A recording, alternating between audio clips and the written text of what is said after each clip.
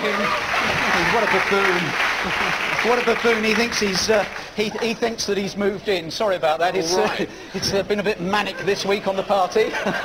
if you, um, if you see a woman hanging off the side of the ceiling, please uh, ignore it, okay? And also, if I may say, with all respect to your profession, I don't want you hypnotising anyone here in the great house. Me? No, I've seen you do that. When you do that flick of the finger.